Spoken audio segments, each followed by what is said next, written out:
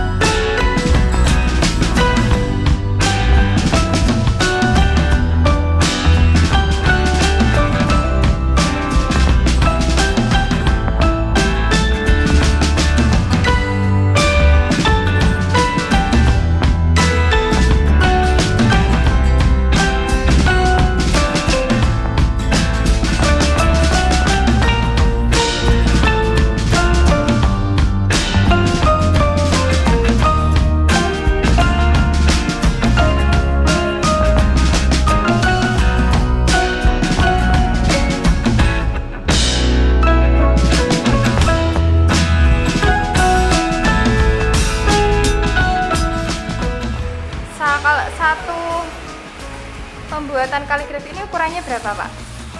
sesuai keinginan pemesan. Nah, itu mulai dari ukuran berapa, Pak?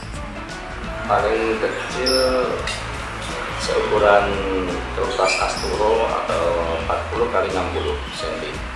Terus yang paling besar Yang paling besar hingga 2 meter 2 meter 25 cm. harganya berapa, Pak? Satu buahnya ukurannya dari yang kecil sampai yang besar. Kalau yang paling kecil seukuran 40-60 itu bisa paling minim harga 100 100 ribu Terus yang paling set, yang ada ukuran sedangnya itu berapa, Pak? yang sedang ya, antara 400-an yang paling besar yang paling gede itu bisa mencapai 1 juta Pelanggannya dari mana aja, Pak? Kalau kebanyakan ya dari kawasan Kudus sendiri paling jauh pernah eh, yang sering di Aceh Cara pembuatannya ini prosesnya ber- berapa lama, Pak? Kalau satu pembuatan kaligrafi. kalau untuk membuat relief pengusiran kemungkinan sekitar dua jam jadi tahapnya diberi dasar cat dasaran hitam sampai menunggu kering kemungkinan sampai sehari besoknya baru bisa diwarnai Berarti dalam sebulan kalau di total bisa dapat produksi berapa itu, Pak? Nah, kalau pas banyak ya bisa sampai 15 Itu pas rame-ramenya pas momen apa, Pak?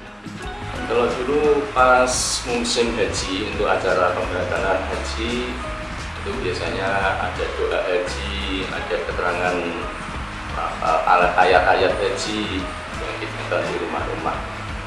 Ada selamat datang, marhaban ahlan wa dan lain-lain.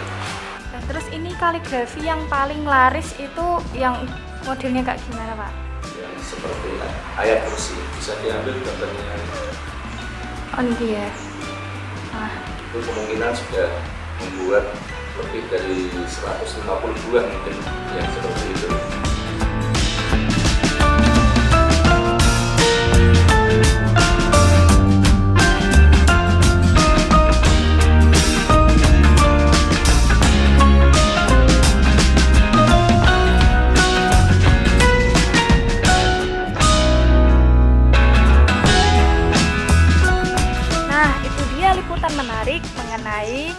ukir kaligrafi dari Pak Huda. Simak terus liputan-liputan menarik di Beta TV dan jangan lupa nyalakan notifikasinya agar tidak ketinggal informasi-informasi menarik lainnya. Saya Skarpati dari Beta TV, sampai jumpa kembali.